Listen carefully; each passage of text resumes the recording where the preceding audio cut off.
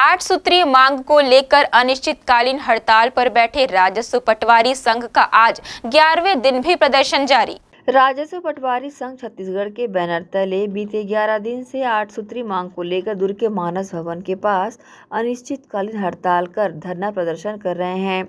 इसमें वे अपनी मांगों को जायज़ ठहराते हुए राज्य के मुख्यमंत्री भूपेश बघेल तक लगातार अपनी आवाज़ पहुँचाने का भी प्रयास कर रहे हैं। इसी कड़ी में कर्मचारी अधिकारी फेडरेशन के पदाधिकारी ने भी राजस्व पटवारी संघ की मांग को जायज़ बताते हुए उनका समर्थन दिया।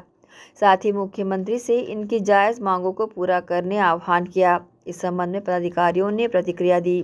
छत्तीसगढ़ कर्मचारी अधिकारी फेडरेशन प्रदेश संयोजक श्री कमल वर्मा जी के नेतृत्व में हमारे राजस्व पटवारी संघ के साथी अपने आठ सूत्री मांगों को लेकर के 15 मई से लगातार आंदोलन पर हैं और उनकी जो मांग है, वेतन विसंगति को लेकर के है, पदोन्नति को लेकर के है, स्टेनरी भत्ता को लेकर के है, मुख्यालय को लेकर के है और इस तरीके से आठ जायज़ मांग है, जिसको लेकर के हमारे साथी काफ़ी आज दस दिन हो गए लगातार आंदोलन पे है और ये देखें कि प्रदेश फेडरेशन हमारे संयोजक श्री कमल वर्मा जी हमारे संभाग प्रभारी श्री राजेश चटर्जी जी इनके नेतृत्व में पूरे प्रदेश में आ, हमारे राजस्व पटवारी साथियों की अजायज मांगों को समर्थन देने के लिए हमें निर्देशित हुआ है। उसी कड़ी में आज हम अपने दुर्ग ज़िले के पटवारी साथियों को इनके नैतिक मांगों के समर्थन देने के लिए दुर्ग जिला कर्मचारी अधिकारी फेडरेशन यहाँ पर उपस्थित हुआ है। पहली बात यह है कि इनके मांगे आठ सूत्री बिंदु इन लोगों ने दिया है। अट्ठाईस सौ ग्रेड पे का मांग है, पदोन्नति का मांग है,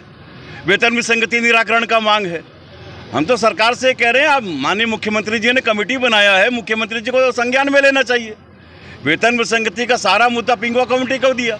फिर बताया कि डॉक्टर कमरप्रीत सिंह के अध्यक्षता में वेतन विसंगति निराकरण का कमेटी बना, हमने वहाँ भी रिप्रेजेंट किया। और आज हर संवर्ग आंदोलित है, आक्रोशित है इस बात को लेके कि उसको जो तनख्वाह मिलना चाहिए तनख्वाह नहीं मिल रहा। है महँगाई भत्ता सरकार को देना चाहिए, नहीं दे रहे हैं। एच सरकार को सातवें वेतन में देना चाहिए, वो नहीं मिल रहा। है इसके अलावा पटवारी साथियों को इस बात को लेकर बड़ा दुख है कि जो स्टेशनरी इनका व्यय होता है, उसके लिए सरकार का कोई ग्रांट ही नहीं आ रहा। तो आखिर आदमी कोई भी व्यक्ति कब तक अपने घर से पैसा लगा के काम करेगा? ये सब बुनियादी बातें हैं। हमारा ये दूसरा बात जो आपने क्वेश्चन किया, आपके चैनल के माध्यम से बताना चाहता हूँ, प्रभाव तो हर आंदोलन में पड़ता है। अगर हमारा पटवारी साथी अपने कार्यालय में नहीं है तो कृषि के क्षेत्र में नुकसान है, शहरी क्षेत्र में नुकसान है, हर जगह जो रेवेन्यू इनकम होता है, उसका नुकसान हो रहा है। एक अव्यवस्था का माहौल पूरे प्रदेश भर में बन रहा है। माननीय मुख्यमंत्री जी से हम अपील करना चाहते हैं कि पटवारी साथियों के साथ पटवारी कर्मचारी संगठन के हमारे प्रांताध्यक्ष हैं, हमारे उप प्रांत हमारे संरक्षक के अश्वनी वर्मा जी हैं। मुख्यमंत्री जी के लिए कोई चेहरा नया नहीं है। बात करने में क्या बुराई है? आईएएस अधिकारियों के बात में अगर माननीय मुख्यमंत्री चलेंगे तो मुख्यमंत्री जी के साथ साथ इस बात को भी समझना पड़ेगा कि चुनाव उनको लड़ना, आईएएस को नहीं लड़ना है। चुनाव के समय हमारे जिन जनप्रतिनिधियों को हम समर्थन करते हैं जिनका हम बात करते हैं, उनको समझना पड़ेगा कि चुनाव के समय वो हमारे पास आते हैं। आईएएस के पास नहीं जाएँगे।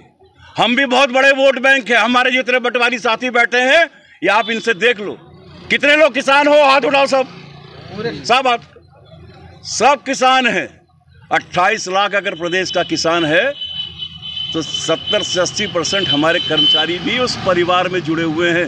इस बात को समझाना चाहता हूँ कि माननीय मुख्यमंत्री जी को संवेदनशीलता का मैं मानता हूँ। बहुत उनका सोच अच्छा है, बहुत कुछ अच्छा है, लेकिन समय निकाल के अपनों के दर्द को समझना बहुत बड़ा ज़्यादा ज़रूरी है। भेंट मुलाकात में अपनों से अपनी बात करना ज़्यादा ज़रूरी है।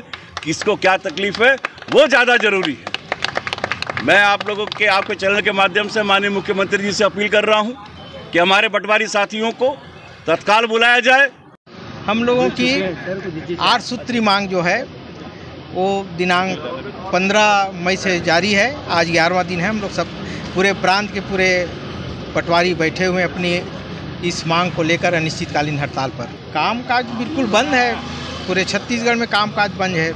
पूरे किसान हलाकान है।